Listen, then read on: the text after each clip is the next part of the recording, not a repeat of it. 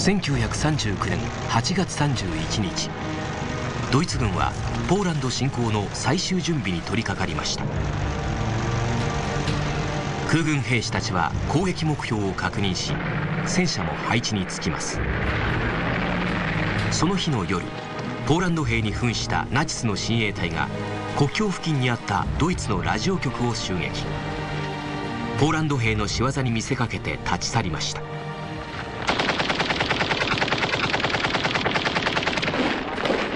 ヒトラーは襲撃事件をでっち上げ侵攻開始の口実としたのです。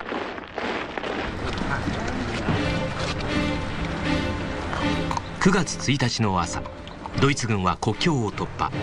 ポーランド領内に攻め込みます。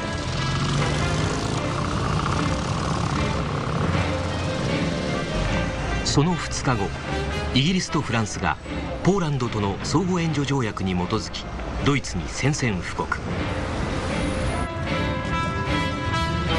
しかしポーランド軍は窮地に陥っていました。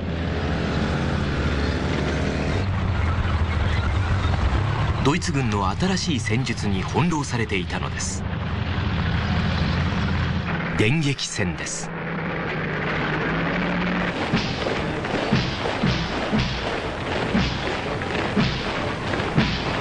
当時ドイツ軍兵士の数は150万人。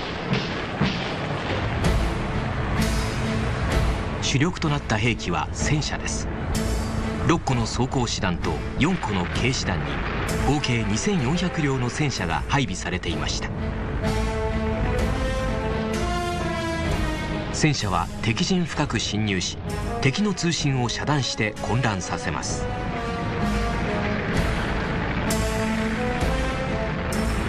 その後歩兵部隊がなだれ込み残った敵を殲滅するのです。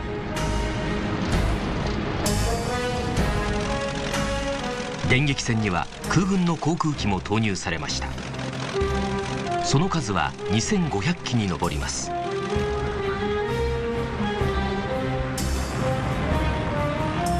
主力となったのはユンカース JU87 急降下爆撃機。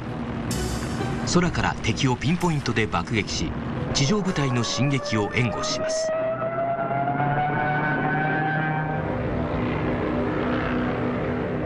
それに対しポーランド軍の航空機はわずか600機でした。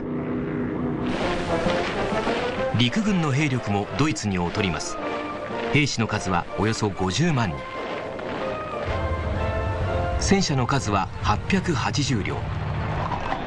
時代遅れともいえる騎兵旅団も抱えていました。戦車にかなうはずがありません。ドイツ軍は数で勝るだけでなく攻撃に特化した戦車軍団を作るという新たな戦術を生み出していました。ポーランド軍との大きな違いです。またドイツがチェコスロバキアを併合したことによりポーランドの防衛は難しくなっていました。首都ワルシャワを含む国土の西側はドイツ領土によって三方から囲まれていたのです。ドイツ軍はこの地理的優位さを戦略に生かしました。戦車部隊の第一陣が敵の防衛線を突破。反対方向からは別の部隊が侵入しポーランド軍を挟み撃ちにしました。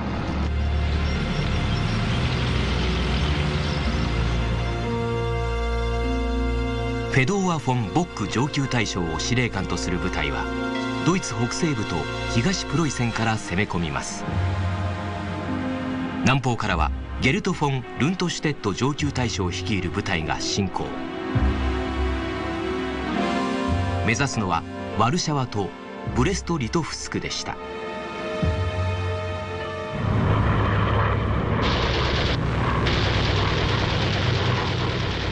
ドイツ軍は圧勝を重ねます。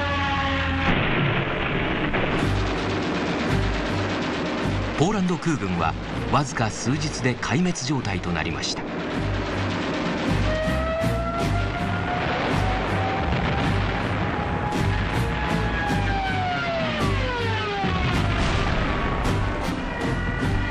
戦車は敵陣深くまで進撃します。爆撃機による攻撃も大きな戦果を上げました。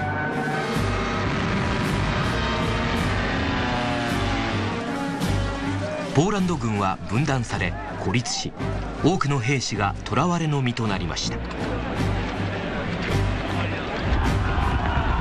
彼らの一部は勇敢にも馬に乗り戦車に立ち向かったという話もあります。でも無謀というものです。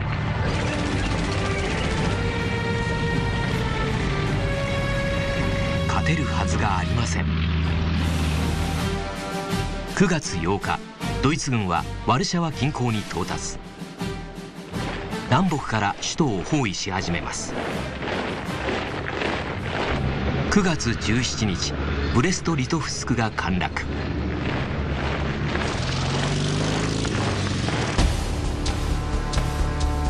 同じ日ソ連軍も東からポーランドへ侵攻しました。後にポーランドはドイツとソ連に分割統治されることになります。劣勢が続きポーランド政府が国外へ逃れる中軍はワルシャワで戦い続けました。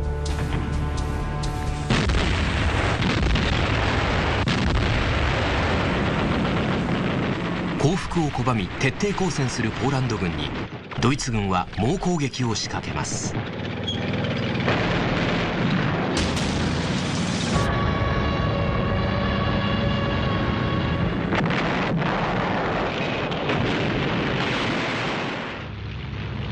トラーは上空から戦局を視察しました。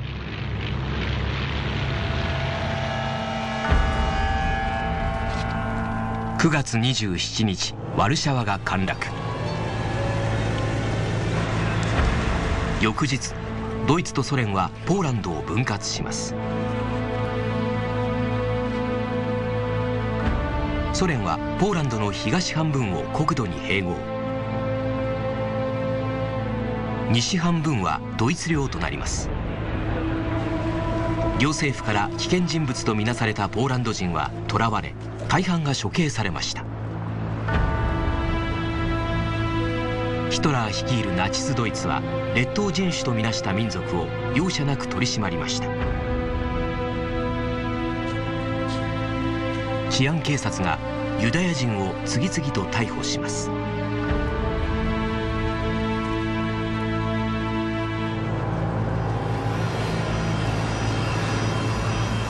多くは強制収容所へ送られ命を落としました。町で処刑された人もいます。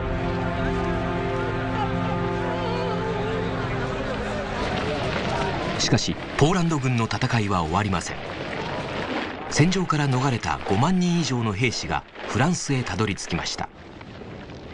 彼らはブアディスワフ・シコルスキ将軍の指揮のもと異国の地でナチスと戦い続けたのです。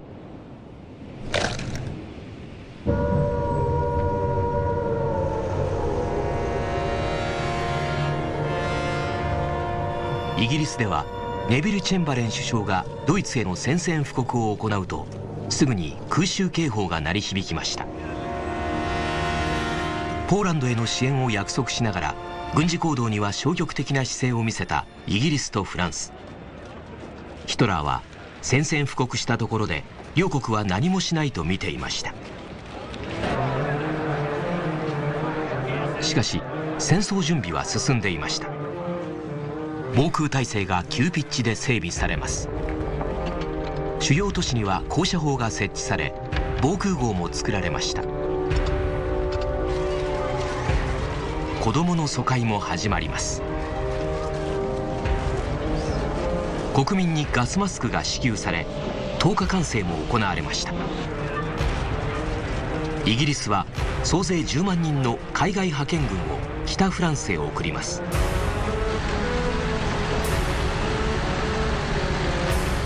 フランス軍はドイツ領内に侵入したものの反撃されるのを恐れて深くは攻め入りません。戦局はドイツに有利です。トラーは次なる標的に狙いを定めていました。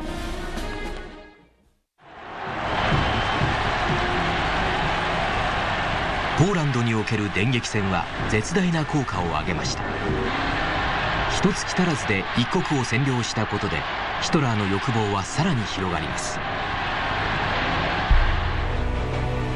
ヒトラーはイギリスとフランスへの攻撃をその年の11月に開始するよう軍に命じます。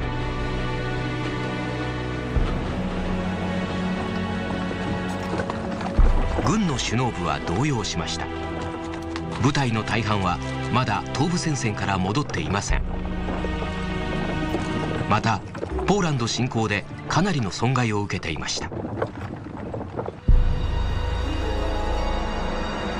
装甲の薄いタイプの戦車は対戦車砲の餌食となりました。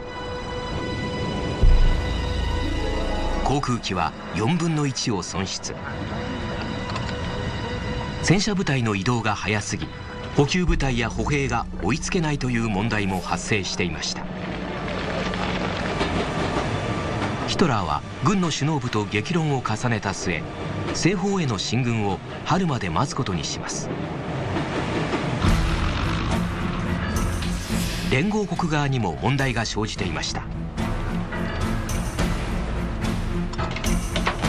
イギリスは爆撃機を主要兵器と考えていました。しかし9月4日にドイツの軍艦を攻撃した30機のうち7機が撃墜されます。その後も作戦に参加した爆撃機の半数が撃墜されるなどの事態が続きました。主要兵器としては不安が残ります。ドイツ海軍は長年にわたり密かに軍備の増強を進めていました。潜水艦隊司令官デーニッツはイギリスへの物資輸送の妨害を図ります。作戦に必要な潜水艦は300隻しかし用意できたのは38隻でした。イギリスとの開戦の日デーニッツは U ボートの名で知られる潜水艦全艦に出撃命令を出します。その日の夜 U ボート U30 が敵の軍艦と見間違えて客船アセニア号を攻撃。アメリカ人26人を含む112人が亡くなりました。イギリスの海軍力はドイツを圧倒していました。イギリスが戦艦12隻航空母艦5隻を用意していたのに対しドイツはいずれも持ち合わせていませんでした。そこでイギリスはドイツに対して海上封鎖を実施します。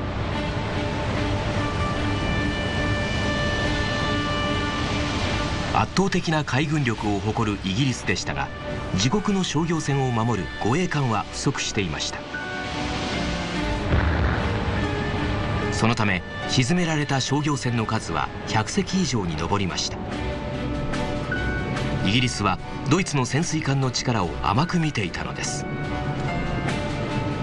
9月17日 U29 が空母カレージャスを撃沈。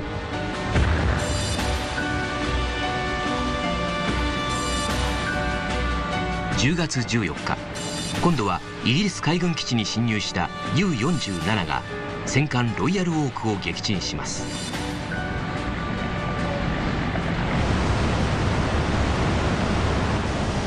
ドイツ海軍で活躍したのは潜水艦だけではありません。11月22日北海でドイツの巡洋艦2隻がイギリスの艦隊と遭遇。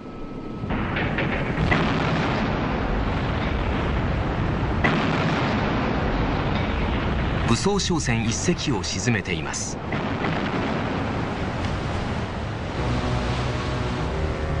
特に目覚ましい活躍をしたのは小型戦艦グラフシュペイでした。物資や人を乗せた商船の破壊を目的として建造されたグラフシュペイは巡洋艦に勝る火力と戦艦をかわすスピードを兼ね備えていました。グラフシュペイは開戦前に就役していました。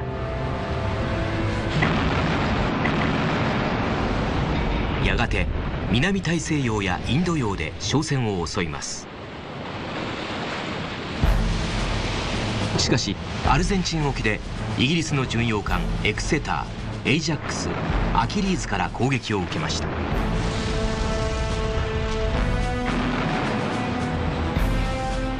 ダメージを負ったグラフシュペイは中立国ウルグアイのモンテビデオ港に避難します。艦長はもはや脱出は不可能と判断しました。彼は港から強制退去させられたグラフシュペイを自らの手で沈めました。1940年初頭戦局は沈静化します。特に寒かったこの年の冬ドイツとイギリスフランスは睨み合ったまま動きませんでした。アメリカの新聞はこの状況を見てまやかし戦争と表現しました。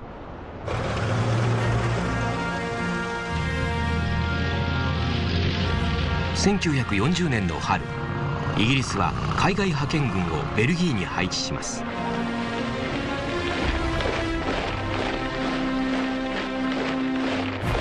しかしおよそ100個師団を送り込んだフランス軍に比べるとイギリス兵の数ははるかに少ないものでした。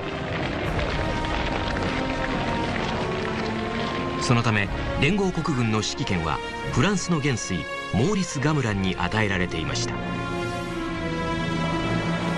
その戦術は防御中心のものでした。フランスの守りの要はマジノ線でした。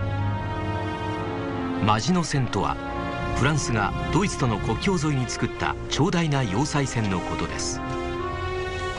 マジノ線を突破することは不可能でありフランス国土の防衛は万全と見られていました。しかし連合国軍にはドイツを倒す戦術が欠けていました。第一次世界大戦と同じやり方をただ繰り返したに過ぎません。連合国側の戦術の柱は敵国を経済封鎖して体力を奪うことと拠点を築いて防衛に専念することでした。ドイツ軍が第一次世界大戦とは戦術を変え意外な方面から攻めてくることなど誰も予想していなかったのです。ドイツは鉄鉱石をスウェーデンから輸入していました。採掘された鉄鉱石はノルウェーのナルビクから積み出されるためこの港を確保することはドイツにとって最大の課題でした。そこでヒトラーはノルウェーさらにはデンマークへの侵攻作戦を立案するよう軍の首脳部に命じます。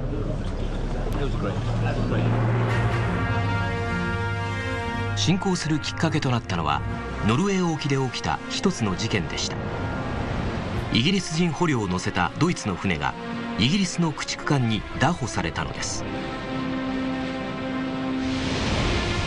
1940年4月9日ドイツ軍は5つの港から上陸します。上陸地点はオスロクリスティアンサンベルゲントロンヘイムナルビク。空からは空挺部隊が降り立ちスタバンゲルとオスロの飛行場を制圧しました。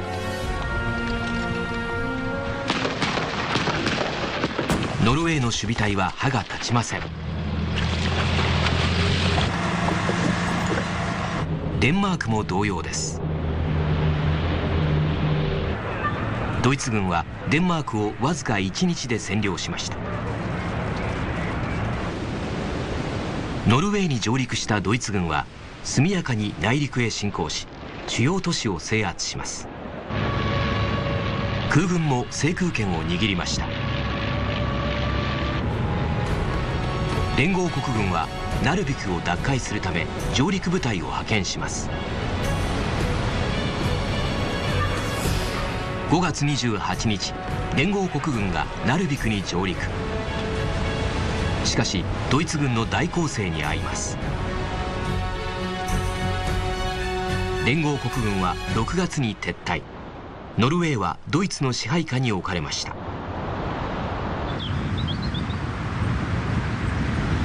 1939年の冬から翌年の春にかけてヒトラーは大半の時間をバイエルンの別荘で過ごしました。彼はイギリスとフランスに対する電撃戦について思案していました。軍部の提案した作戦はありふれたものでした。ベルギーを経由してパリに攻め入るというものです。第一次世界大戦で用いられたシュリーフェン作戦の再現です。連合国軍はドイツ軍の動きを予測し対応策を練っていました。ドイツ軍が攻めてきた場合マジノ線の西からベルギー国内へ進出しダイル川とマース川沿いで迎え撃つというものです。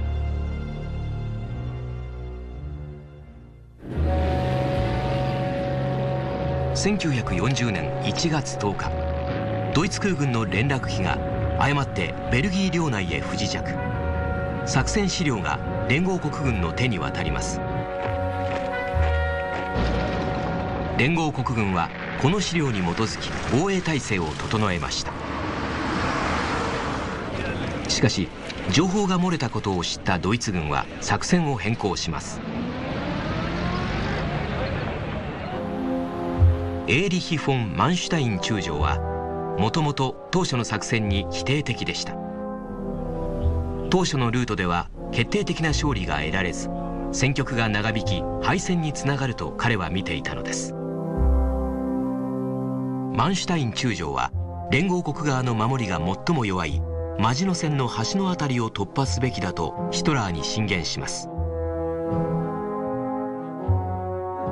ベルギー南東部アルデンヌ地方に戦車を全て集結させるという大胆な作戦です。山の多い森林地帯を戦車で抜けるのは不可能だと見ていた連合国軍は防御を固めていませんでした。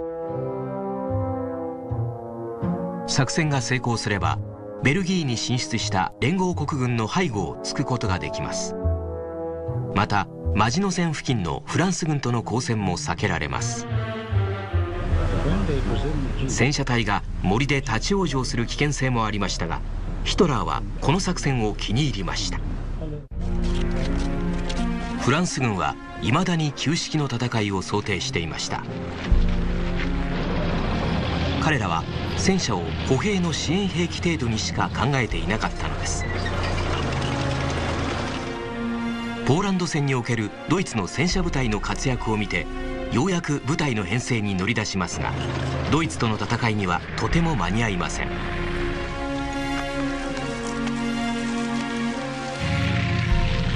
2つの異なる戦術が火花を散らそうとしていました。電撃戦と防衛戦。その優劣はすぐに明らかとなります。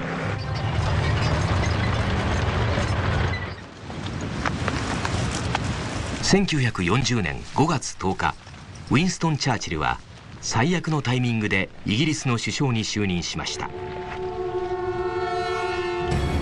この日ドイツ軍が西方へ向けて電撃戦を開始したのです。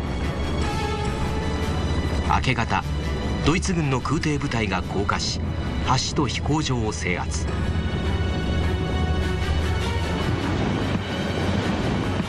ベルギーではエベン・エマール要塞攻略作戦が遂行されます。ドイツ軍はグライダーを使って突入部隊を降下させ要塞を攻め落としました。ドイツ軍機はオランダとベルギーの空軍基地を攻撃。戦車部隊は国境を越えます。フェドーア・フォン・ボック上級大将率いる部隊がオランダとベルギーに侵攻しました。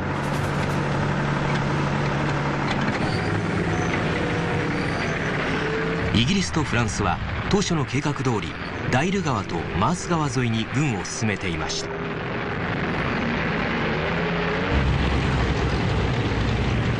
しかしこの時ドイツの別の部隊がベルギーの国境守備隊を壊滅させアルデンヌの森の中を突き進んでいたのです。連合国側はこの動きに全く気づいていませんでした。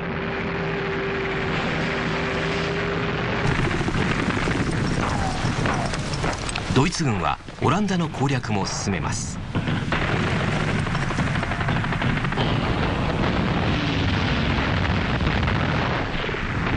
装備の整ったドイツ軍にオランダ軍は歯が立ちません。空からは爆撃機による激しい空襲が延々と繰り返されました。5月14日ドイツはオランダに対し降伏を要求しますがオランダがためらったためドイツの爆撃機体が出撃します。停戦交渉中の爆撃を中止する指令がうまく伝わらず市街地への爆撃が行われました。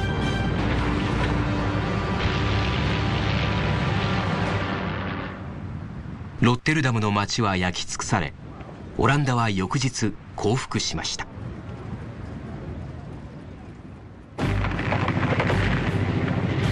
一方イギリス軍とフランス軍の指揮官たちに予期せぬ知らせが届きます。ドイツの戦車部隊がアルデンヌ地方を抜けてマース川に到達したのです。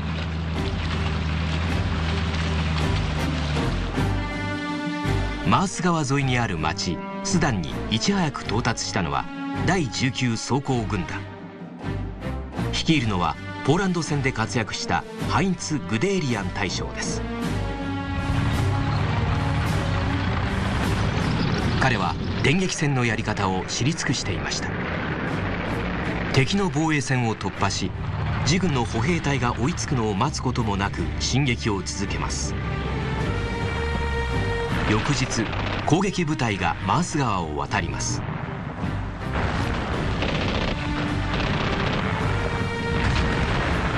激しい爆撃の中公兵が橋を架けました。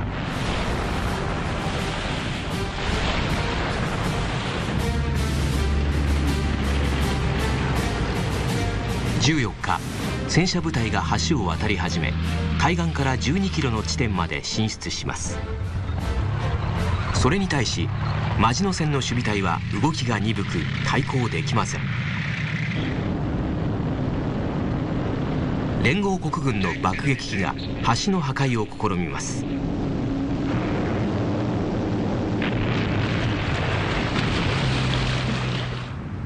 しかし多くは撃墜されました。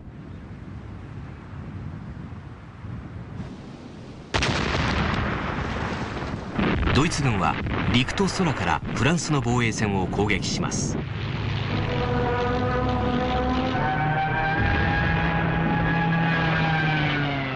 戦闘開始からわずか3日でスダンの防衛線は破られました。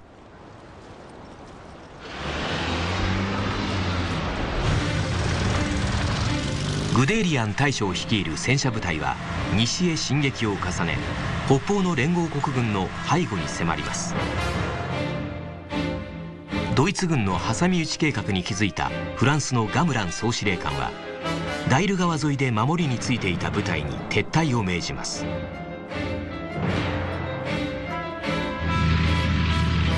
突然の撤退命令を受けた前線の部隊は状況を把握できず混乱しました。撤退する道の途中には大量の避難民があふれていました。この日フランスのレイノー首相はイギリスのチャーチル首相に電話をしこう伝えました。我々は敗北したと。しかしドイツ軍にも弱点はありました。西へ向かうドイツの戦車隊は縦に長い隊列になっていました。横からの奇襲に対しては無防備です。ドイツ軍兵士の大半は馬に乗るか徒歩で移動していました。そのため戦車部隊の移動のペースについていけなかったのです。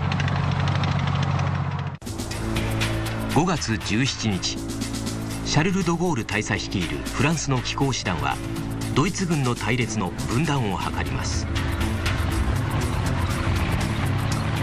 しかし戦車を用いた戦術に慣れていなかったため攻撃の統制が取れません。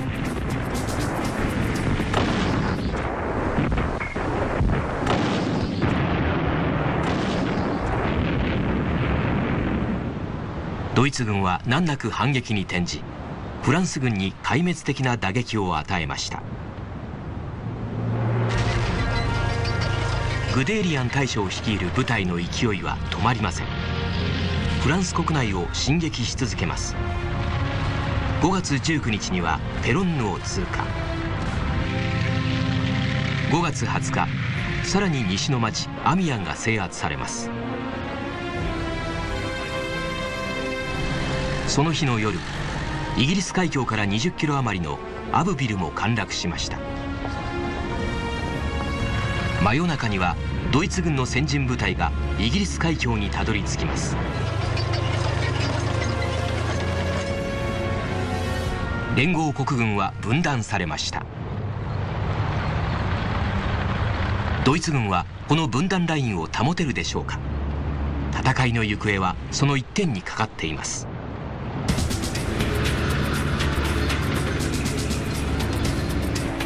イギリス軍が反撃準備を整えます。5月21日イギリスの機構大隊がアラスの南部で反撃を開始しました。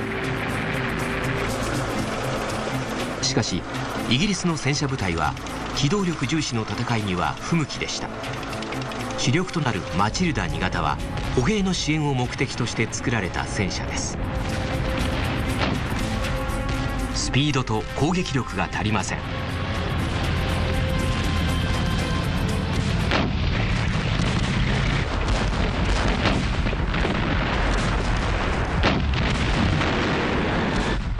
ドイツ軍は難なく勝利します。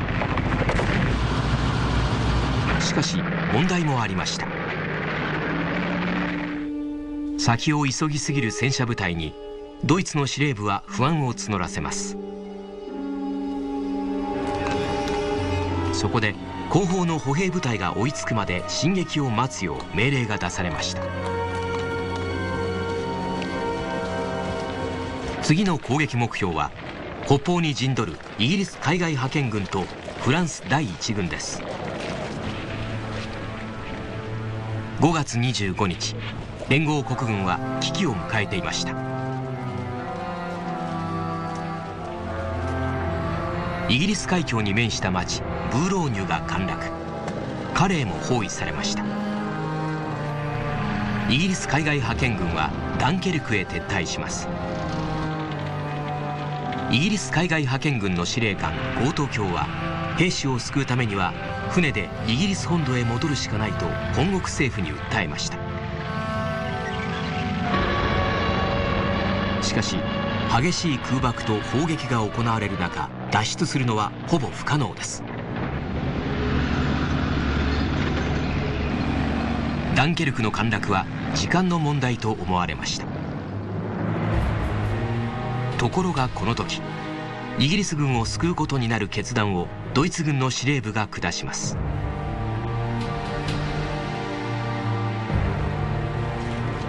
ドイツ軍戦車部隊の兵士は体力の消耗が激しく車両も損傷していました。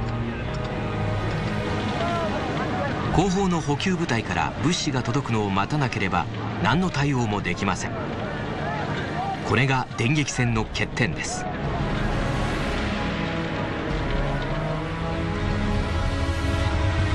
ドイツ軍の司令部は戦車部隊の損失を防ぐため歩兵部隊が合流するまで進撃を停止させました。ダンケルク攻略はそれからで良いと考えたのです。ドイツ軍の戦車部隊は2日間にわたり立ち止まります。この2日の間にイギリスの海外派遣軍は撤退準備を整えることができました。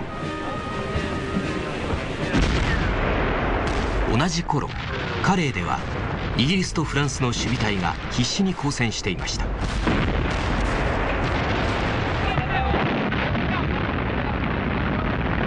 しかし彼らは3日間にわたる激闘の末敗れ去ります。一方ドイツ軍の戦車部隊が進撃を再開。この時天候が悪化していました。豪雨が戦車部隊の足を止め連合国軍に味方します。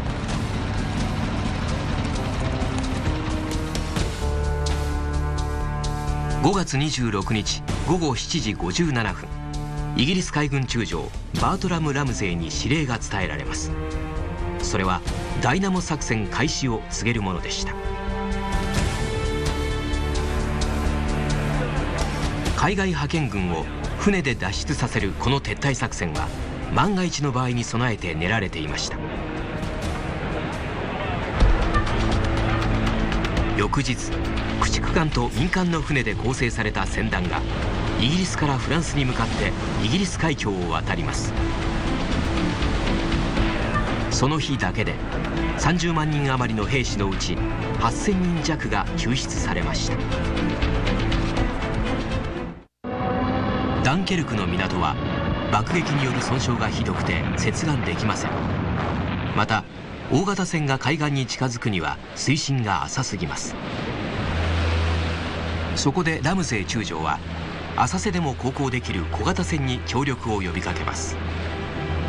漁船や橋家など数百隻の小型船が呼びかけに応じてイギリス海峡を渡りました。多くが民間の船です。小型船が海岸で兵士を乗せ沖で待機する大型船へ移送しました。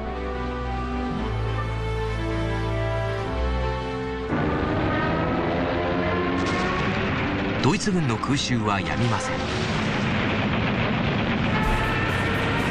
イギリス空軍は戦闘機を総動員してこれに応戦します。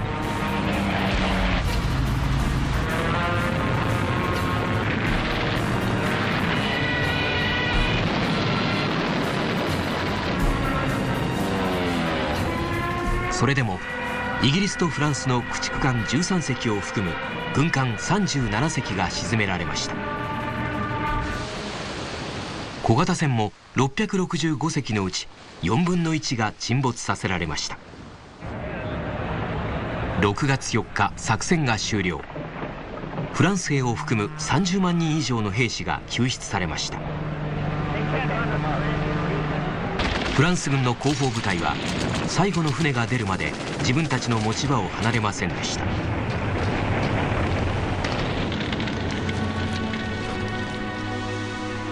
テルモピュライを守ったスパルタ兵のような勇敢な戦いぶりでした。イギリス軍は多くの兵器を捨てて撤退しました。しばらくは兵器不足でドイツと対等に戦えません。フランスはすでに兵士の数が半減していました。圧倒的な兵力を誇るドイツ軍が迫ってきます。6月5日午前4時。ドイツはフランス攻略の最終段階に入ります。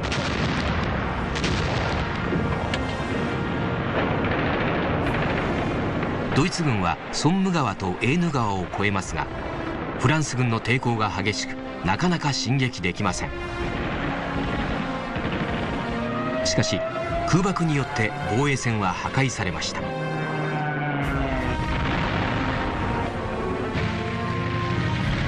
戦車部隊が南下を始めます。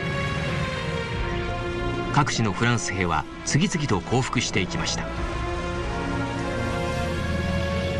9日までに戦車部隊はセーヌ川に到達。歩兵部隊もすぐ後に続きます。川を渡ったドイツ軍は内陸部へなだれ込みました。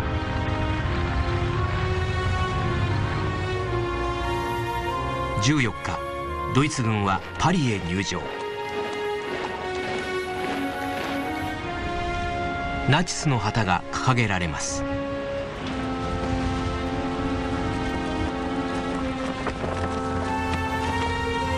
トラーは第一次世界大戦の屈辱を晴らしたのです。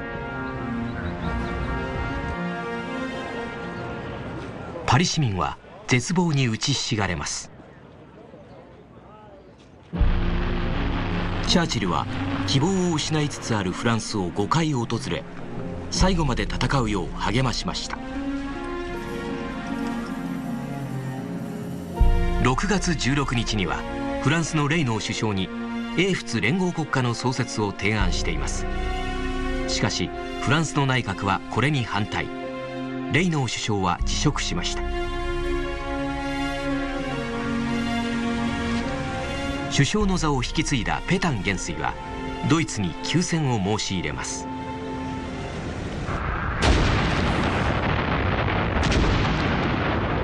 その後ドイツ軍は孤立していたマジノ線の攻略に向かいます。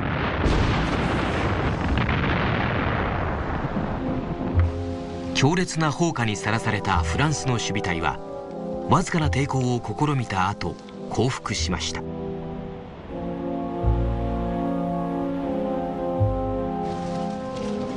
6月21日1918年と同じコンピエーニュの森で休戦に向けた交渉が行われます。ヒトラーはフランスの代表団に一方的に条件を突きつけて去りました。厳しい条件に難色を示すフランス側に対しドイツ側は武力行使をちらつかせます。フランスの代表団は署名せざるを得ませんでした。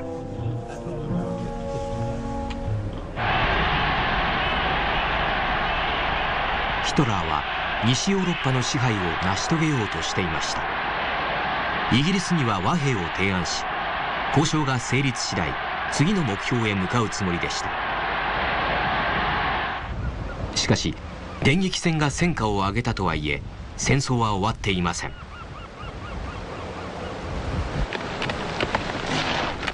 イギリスにはこのままドイツに屈する気などなかったのです。わずか3日でスダンの防衛線は破られました。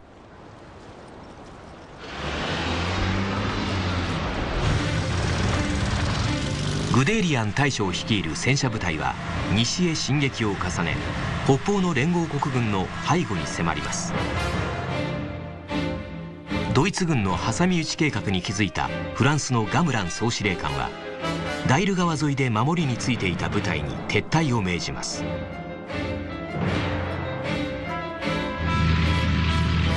突然の撤退命令を受けた前線の部隊は状況を把握できず混乱しました。撤退する道の途中には大量の避難民があふれていました。この日フランスのレイノー首相はイギリスのチャーチル首相に電話をしこう伝えました我々は敗北したと。しかしドイツ軍にも弱点はありました。西へ向かうドイツの戦車隊は縦に長い隊列になっていました。横からの奇襲に対しては無防備です。ドイツ軍兵士の大半は馬に乗るか徒歩で移動していました。そのため戦車部隊の移動のペースについていけなかったのです。5月17日。シャルル・ド・ゴール大佐率いるフランスの機構師団はドイツ軍の隊列の分断を図ります。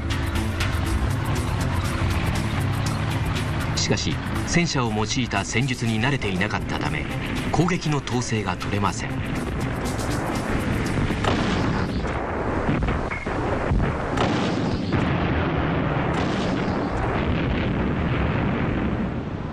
ドイツ軍は難なく反撃に転じフランス軍に壊滅的な打撃を与えました。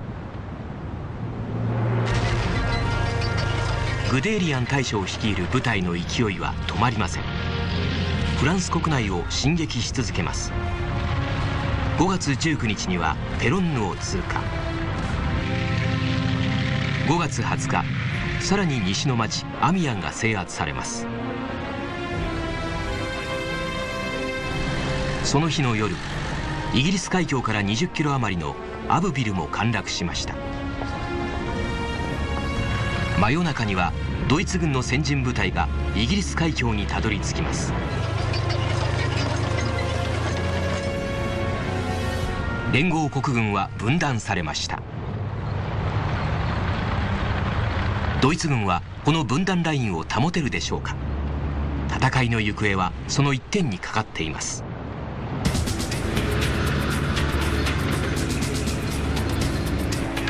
イギリス軍が反撃準備を整えます。5月21日イギリスの機構大隊がアラスの南部で反撃を開始しました。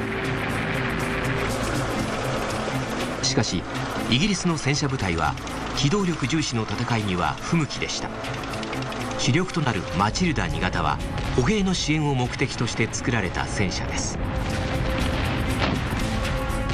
スピードと攻撃力が足りません。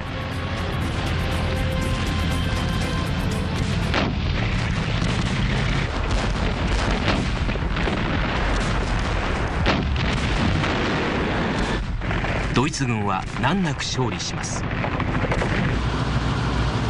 しかし問題もありました。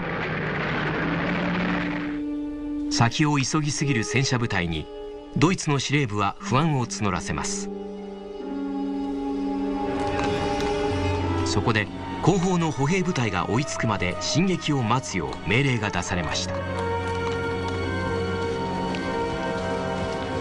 次の攻撃目標は北方に陣取るイギリス海外派遣軍とフランス第一軍です。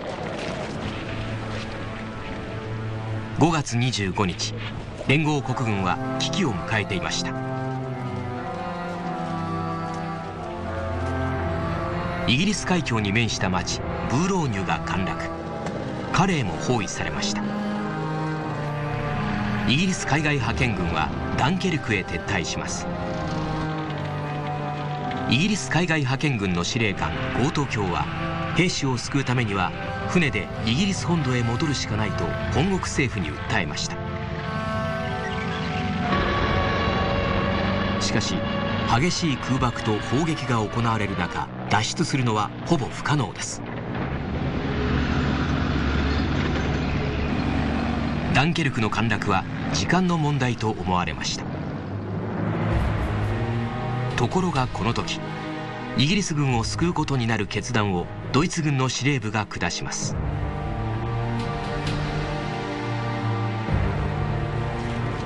ドイツ軍戦車部隊の兵士は体力の消耗が激しく車両も損傷していました。後方の補給部隊から物資が届くのを待たなければ何の対応もできません。これが電撃戦の欠点です。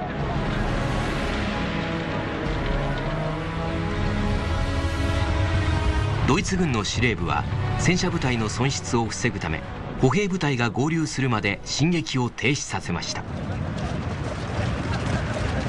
ダンケルク攻略はそれからで良いと考えたのです。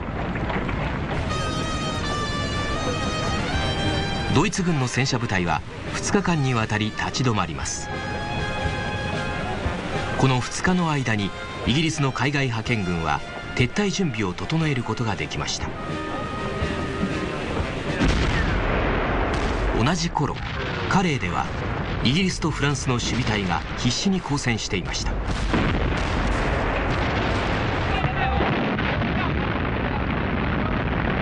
しかし彼らは3日間にわたる激闘の末敗れ去ります。一方ドイツ軍の戦車部隊が進撃を再開。この時天候が悪化していました。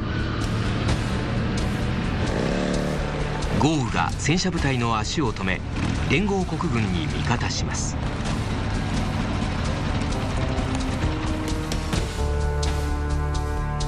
5月26日午後7時50夏14日。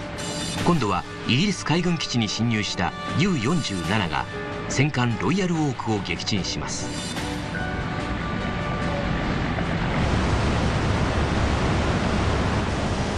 ドイツ海軍で活躍したのは潜水艦だけではありません。11月22日北海でドイツの巡洋艦2隻がイギリスの艦隊と遭遇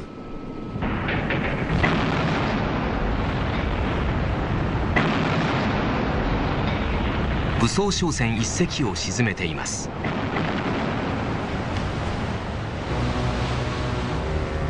特に目覚ましい活躍をしたのは小型戦艦グラフシュペイでした。物資や人を乗せた商船の破壊を目的として建造されたグラフシュペイは巡洋艦に勝る火力と戦艦をかわすスピードを兼ね備えていました。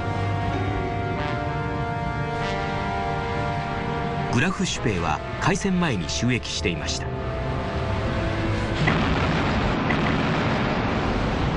やがて南大西洋やインド洋で商船を襲います。しかしアルゼンチン沖でイギリスの巡洋艦エクセターエイジャックスアキリーズから攻撃を受けました。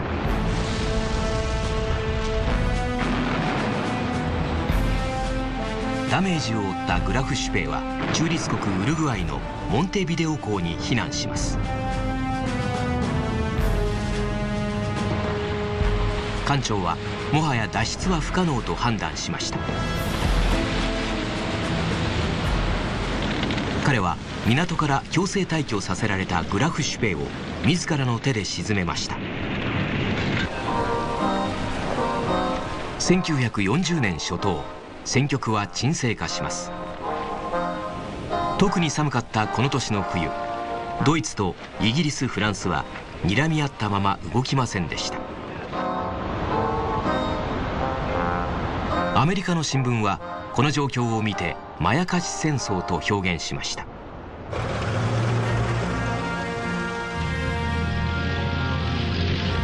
1940年の春イギリスは海外派遣軍をベルギーに配置します。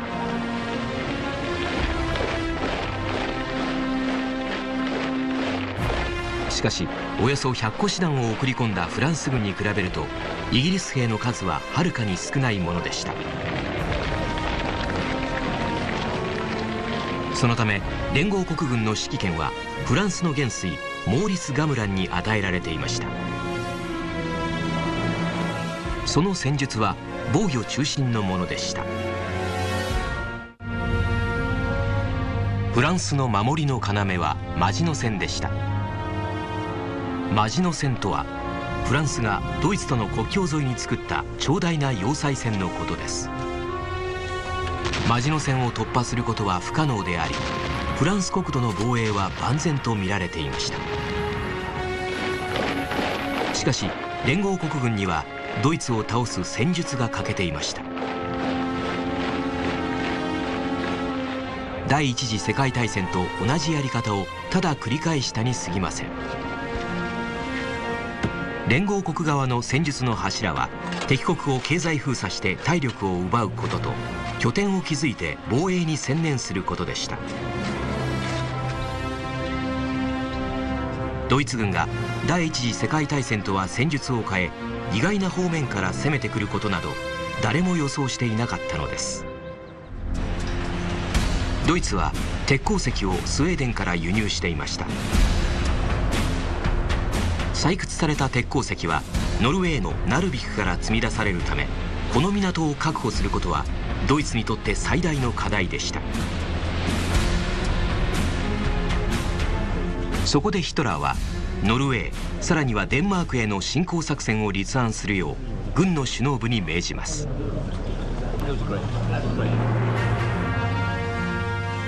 侵攻するきっかけとなったのはノルウェー沖で起きた一つの事件でした。イギリス人捕虜を乗せたドイツの船がイギリスの駆逐艦に拿捕されたのです。1940年4月9日ドイツ軍は5つの港から上陸します。上陸地点はオスロクリスティアンサンベルゲントロンヘイムナルビク。空からは空挺部隊が降り立ちスタバンゲルとオスロの飛行場を制圧しました。ノルウェーの守備隊は歯が立ちません。デンマークも同様です。ドイツ軍はデンマークをわずか1日で占領しました。ノルウェーに上陸したドイツ軍は速やかに内陸へ侵攻し主要都市を制圧します。空軍も制空権を握りました。連合国軍はナルビクを奪回するため上陸部隊を派遣します。5月28日連合国軍がナルビクに上陸。しかしドイツ軍の大攻勢に遭います。連合国軍は6月に撤退。ノルウェーはドイツの支配下に置かれました。1939年の冬から翌年の春にかけてヒトラーは大半の時間をバイエルンの別荘で過ごしました。彼はイギリスとフランスに対する電撃戦について思案していました。軍部の提案した作戦はありふれたものでした。ベルギーを経由してパリに攻め入るというものです。第一次世界大戦で用いられたシュリーフェン作戦の再現です。連合国軍はドイツ軍の動きを予測し対応策を練っていました。ドイツ軍が攻めてきた場合マジノ線の西からベルギー国内へ進出しダイル川とマース川沿いで迎え撃つというものです。降伏を拒み徹底抗戦するポーランド軍にドイツ軍は猛攻撃を仕掛けます。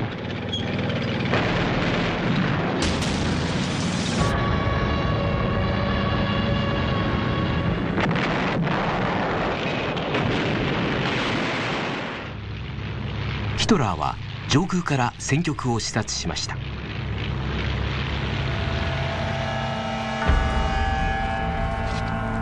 9月27日ワルシャワが陥落。翌日ドイツとソ連はポーランドを分割します。ソ連はポーランドの東半分を国土に併合。西半分はドイツ領となります。両政府から危険人物とみなされたポーランド人は捕らわれ大半が処刑されました。ヒトラー率いるナチスドイツは劣等人種とみなした民族を容赦なく取り締まりました。治安警察がユダヤ人を次々と逮捕します。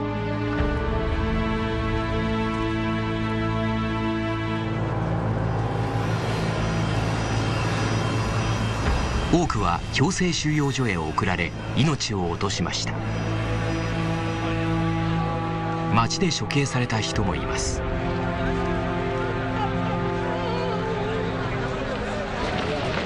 しかしポーランド軍の戦いは終わりません。戦場から逃れた5万人以上の兵士がフランスへたどり着きました。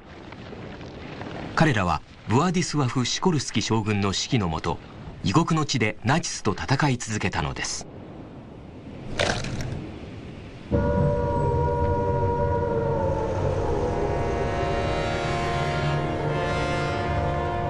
イギリスではネビル・チェンバレン首相がドイツへの宣戦布告を行うとすぐに空襲警報が鳴り響きました。ポーランドへの支援を約束しながら軍事行動には消極的な姿勢を見せたイギリスとフランス。ヒトラーは宣戦布告したところで両国は何もしないと見ていました。しかし戦争準備は進んでいました。防空体制が急ピッチで整備されます。主要都市には高射砲が設置され防空壕も作られました。子供の疎開も始まります。国民にガスマスクが支給され10日間生も行われました。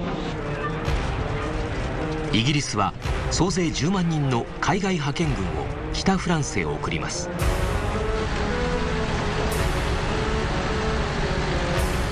フランス軍はドイツ領内に侵入したものの反撃されるのを恐れて深くは攻め入りません。戦局はドイツに有利です。ヒトラーは次なる標的に狙いを定めていました。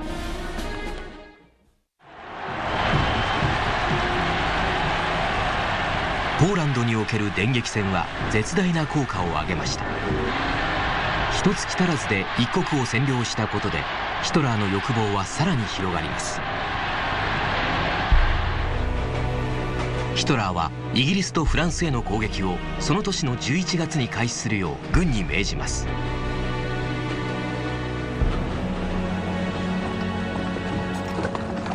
軍の首脳部は動揺しました。部隊の大半はまだ東部戦線から戻っていません。ポーランド侵攻でかなりの損害を受けていました。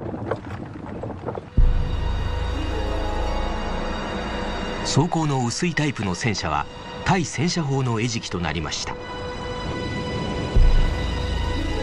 航空機は4分の1を損失。戦車部隊の移動が早すぎ補給部隊や歩兵が追いつけないという問題も発生していました。ヒトラーは軍の首脳部と激論を重ねた末西方への進軍を春まで待つことにします。連合国側にも問題が生じていました。イギリスは爆撃機を主要兵器と考えていました。しかし9月4日にドイツの軍艦を攻撃した30機のうち7機が撃墜されます。その後も作戦に参加した爆撃機の半数が撃墜されるなどの事態が続きました。主要兵器としては不安が残ります。ドイツ海軍は長年にわたり密かに軍備の増強を進めていました。潜水艦隊司令官デーニッツはイギリスへの物資輸送の妨害を図ります。作戦に必要な潜水艦は300隻。しかし用意できたのは38隻でした。イギリスとの開戦の日レーニッツは U ボートの名で知られる潜水艦全艦に出撃命令を出します。その日の夜 U ボート U30 が敵の軍艦と見間違えて客船アセニア号を攻撃。アメリカ人26人を含む112人が亡くなりました。イギリスの海軍力はドイツを圧倒していました。イギリスが戦艦12隻航空母艦5隻を用意していたのに対しドイツはいずれも持ち合わせていませんでした。そこでイギリスはドイツに対して海上封鎖を実施します。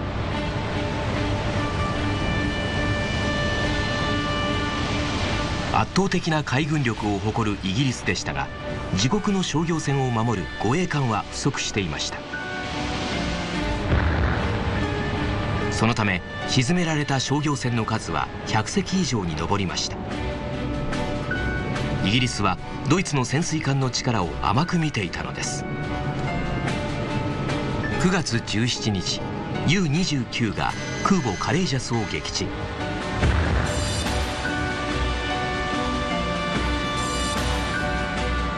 10月。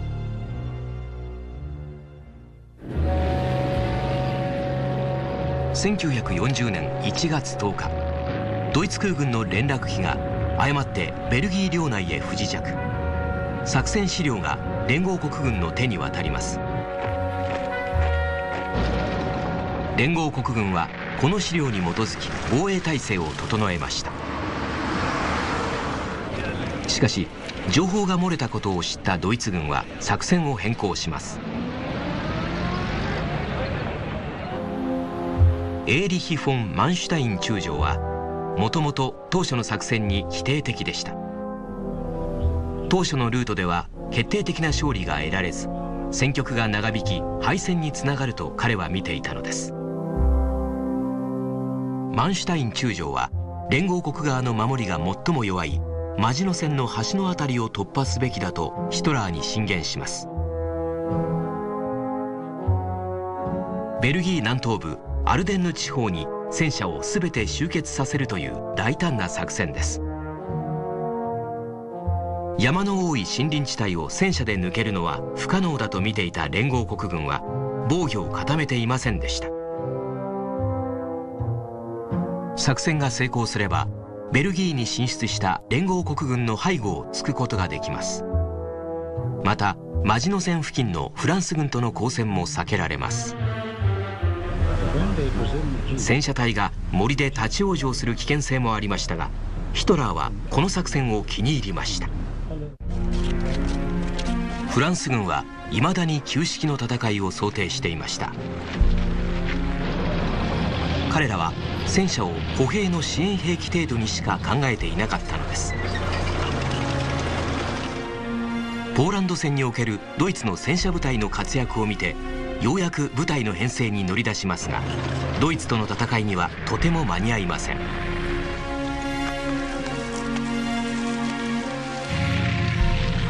2つの異なる戦術が火花を散らそうとしていました。電撃戦と防衛戦。その優劣はすぐに明らかとなります。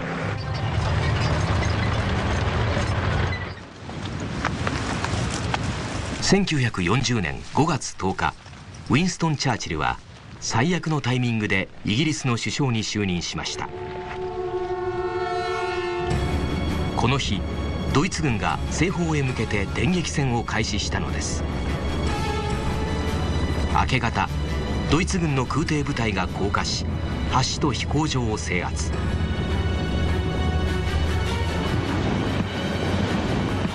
ベルギーではエベン・エマール要塞攻略作戦が遂行されます。ドイツ軍はグライダーを使って突入部隊を降下させ要塞を攻め落としました。ドイツ軍機はオランダとベルギーの空軍基地を攻撃。戦車部隊は国境を越えます。フェドーア・フォン・ボック上級大将率いる部隊がオランダとベルギーに侵攻しました。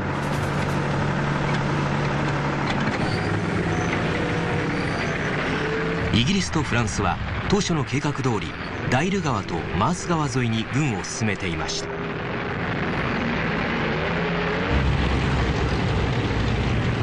しかしこの時ドイツの別の部隊がベルギーの国境守備隊を壊滅させアルデンヌの森の中を突き進んでいたのです。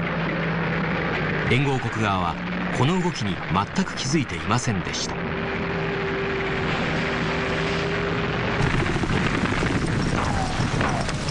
ドイツ軍はオランダの攻略も進めます。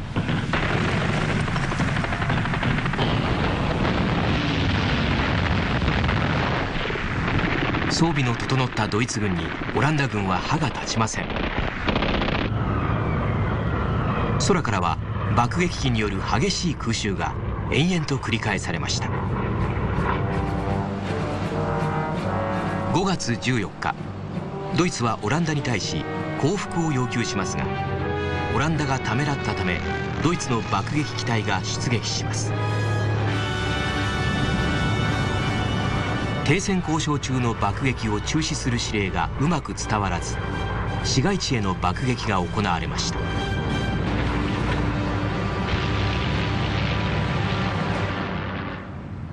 ロッテルダムの町は焼き尽くされオランダは翌日降伏しました。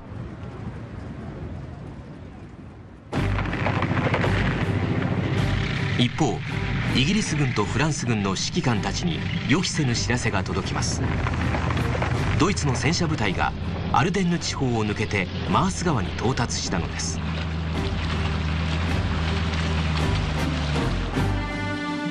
マース川沿いにある町スダンにいち早く到達したのは第19装甲軍団。率いるのはポーランド戦で活躍したハインツ・グデーリアン大将です。彼は電撃戦のやり方を知り尽くしていました。敵の防衛線を突破し自軍の歩兵隊が追いつくのを待つこともなく進撃を続けます。翌日攻撃部隊がマース川を渡ります。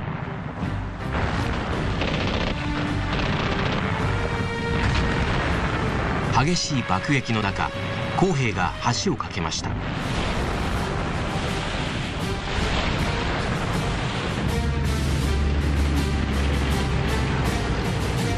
14日戦車部隊が橋を渡り始め海岸から12キロの地点まで進出します。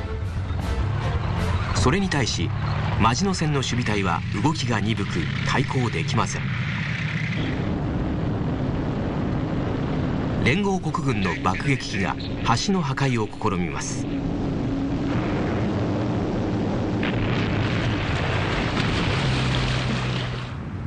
しかし多くは撃墜されました。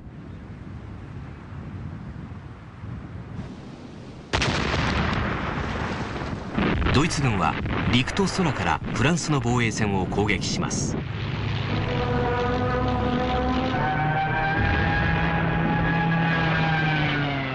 戦闘開始から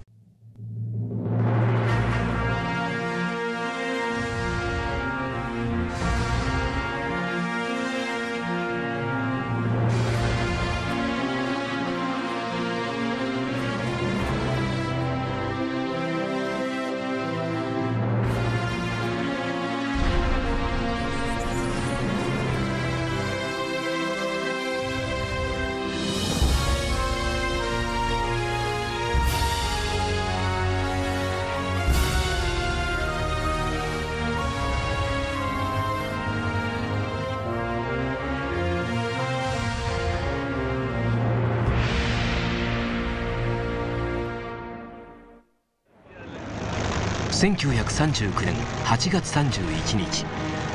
ドイツ軍はポーランド侵攻の最終準備に取り掛かりました。空軍兵士たちは攻撃目標を確認し戦車も配置につきます。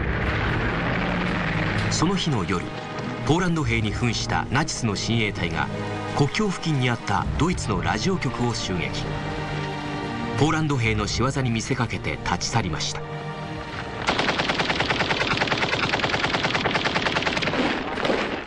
トラーは襲撃事件をでっち上げ侵攻開始の口実としたのです。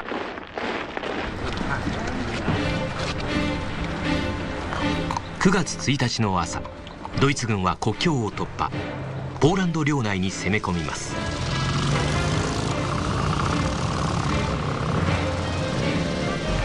その2日後イギリスとフランスがポーランドとの相互援助条約に基づきドイツに宣戦布告。しかしポーランド軍は窮地に陥っていました。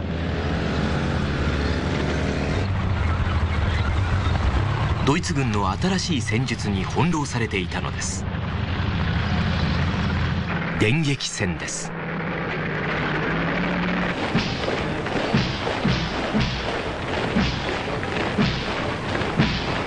当時ドイツ軍兵士の数は150万人。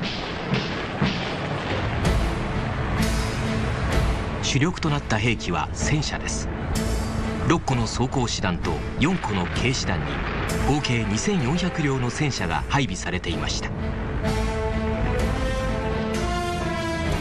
戦車は敵陣深く侵入し敵の通信を遮断して混乱させます。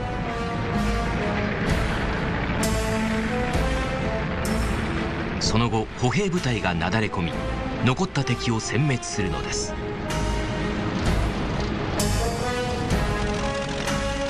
電撃戦には空軍の航空機も投入されました。その数は2500機に上ります。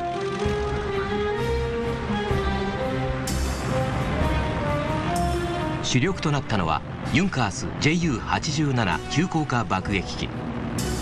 空から敵をピンポイントで爆撃し地上部隊の進撃を援護します。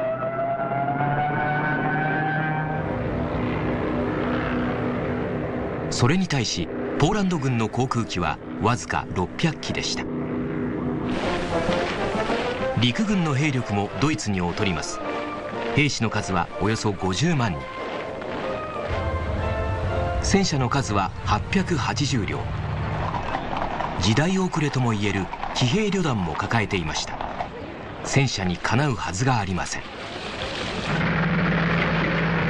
ドイツ軍は数で勝るだけでなく攻撃に特化した戦車軍団を作るという新たな戦術を生み出していました。ポーランド軍との大きな違いです。またドイツがチェコスロバキアを併合したことによりポーランドの防衛は難しくなっていました。首都ワルシャワを含む国土の西側はドイツ領土によって三方から囲まれていたのです。ドイツ軍はこの地理的優位さを戦略に生かしました。戦車部隊の第一陣が敵の防衛線を突破。反対方向からは別の部隊が侵入しポーランド軍を挟み撃ちにしました。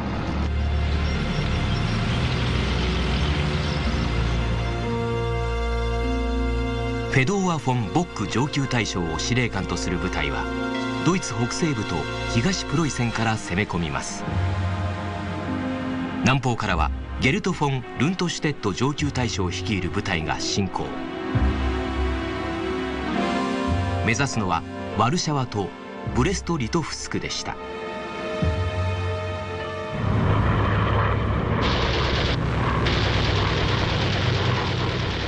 ドイツ軍は圧勝を重ねます。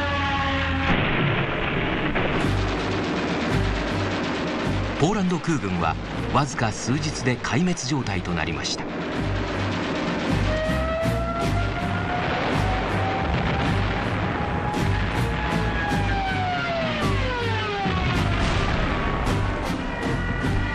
戦車は敵陣深くまで進撃します。爆撃機による攻撃も大きな戦果を上げました。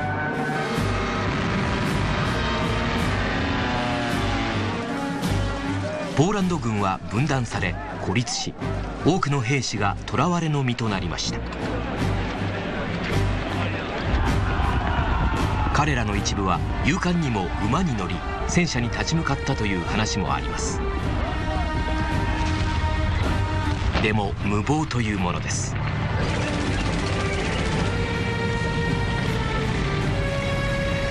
勝てるはずがありません。9月8日ドイツ軍はワルシャワ近郊に到達。南北から首都を包囲し始めます。9月17日ブレスト・リトフスクが陥落。